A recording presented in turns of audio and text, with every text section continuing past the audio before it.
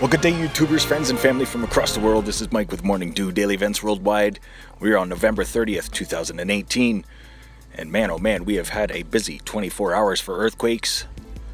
We're going to start off with this large 7.0 earthquake centered in Anchorage, Alaska, at a 49 kilometer depth.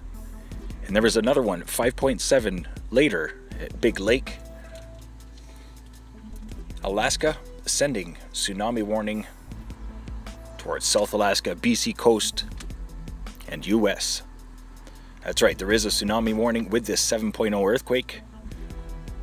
Stay aware and prepared because we had a very strange and rare 4.2 earthquake on the border of Alberta and BC last night. And I did not make a video, I've been very busy recently. I'm even at work right now making this video, but this is a big deal. I really needed to get this video out there. As I said, I'll be documenting all of these events that are happening around the world. So looking here at the Pacific Disaster Center, they're saying it was 13 kilometers southwest of Anchorage. Also ringing off the 5.3 and a 5.7. Tsunami warnings issued. Now this earthquake happened two hours ago and there has been many aftershocks 5.0 and greater. So stay aware and prepared folks. We have a very slowed down solar wind speed right now. So we are going to be watching all of the volcanoes around the world increase volcanism. We've got awakened volcanoes in Indonesia as well as South America. But here looking at the map, you can see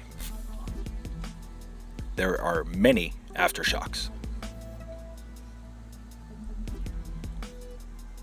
I'm going to leave you here with the last seven days for earthquakes. See here, Fort, Fort St. John, Canada, right on the border of Alberta and BC. Very rare earthquake. I have not seen an earthquake here at all in my research. We also had the 4.2 in Bandon, Oregon. But the last 24 hours has been very busy compared to the last seven days. Thanks for watching today. Stay aware and prepared. Stay young and have fun. And get your morning dew. Thanks for watching. Bye-bye.